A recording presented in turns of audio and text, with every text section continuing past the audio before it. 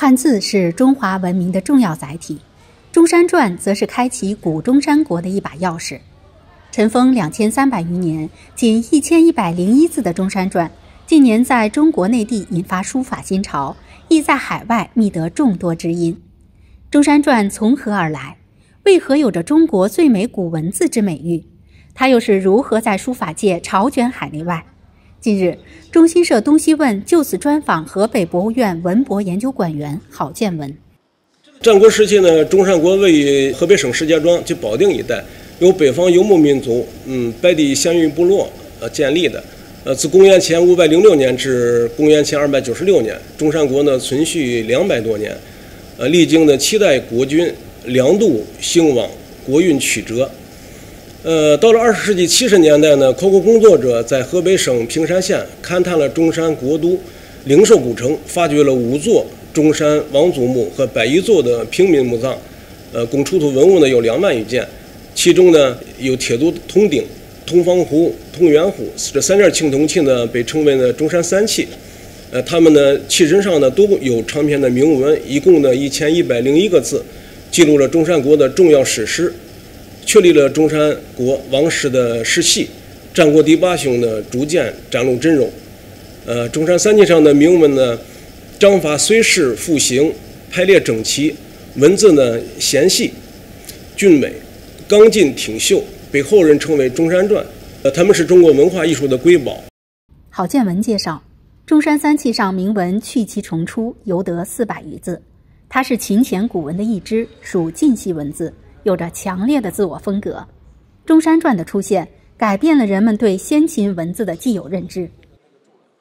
秦代一统文字以前呢，战国文字呢缺乏统一性，可谓争奇斗艳，但大多呢较为质朴。这其中呢，瘦劲精美、体态修长、极具装饰性的中山传呢，呃，它堪称为中国古文字呃里边的精品。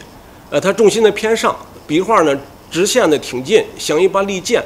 弧线的圆润秋意，像绷紧的弓弦，呃，整体呢刚健劲挺又婀娜飘逸，彰显着至刚与至柔的亲和之美。中山传的美美在造型，更美在气韵风骨。其笔画呢本身灵动且富有弹性，弯曲的弧度彰显了生命的力量，从中呢能感受到独属中山国绵韧顽强的精神气质。中山国诞生于乱世之中，吕王。吕兴曾盛极一时，堪称战国史上的一个奇迹。通过《中山传》呢，呃，我们可以看到中山国人的坚毅勇猛和不屈不挠，犹如战国雄风趁势而来，故国中山就在眼前。郝建文说：“《中山传》属于中山国官方的庄重字体，充满庙堂之气。它由技艺纯熟的工匠精心制作，文字自行调整了长宽比例，使其呈现出修长秀雅的体态。”其结构精细巧妙，运用虫蛇的抽象化处理，代表了当时贵族阶层的艺术审美。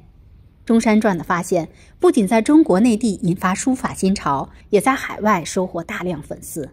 呃，中山三器出土以后呢，当代的学者、书法家那个秀文，呃，他呢发现了三体铭文的这个审美价值，呃，他呢辗转得到了三体铭文拓片的复印件儿。书法家郑胜忠呢，则编撰了《中山王错起文字编》，呃，从此呢，《中山传》迅速在海内外传播，呃，得到了古文字学界的好评。如今呢，《中山传》在海内外拥有大批的铁粉，包括知名学者、书画家等。近几年的《中山传》热呢，也影响着中国的台湾以及日本和马来西亚等国家和地区。台湾书法篆刻家呢，黄成明几十年研习《中山传》。上世纪八十年代呢，咱们中山国的文物呢在东京展出，呃，引发了日本民众对中山传的这种关注。呃，日本的汉学家海村唯一，他呢从那以后呢就开始研究中山国文字。另外呢，还有一个日本人，呃，大浦周人，呃，他当年呢他是个中学美术老师，呃，他呢看了那个展览以后呢，也迷上了中山传。这几十年呢一直在呃临写，在以中山传呢搞书法创作。他的作品呢在咱们。国内呢展览呢，也在书法界呢也得到认可。中山传独特优美的造型艺术，是吸引众多书法爱好者进行研习临摹与创作的主要原因。呃，从中呢可以呃欣赏文字之美、艺术之美和文明之美。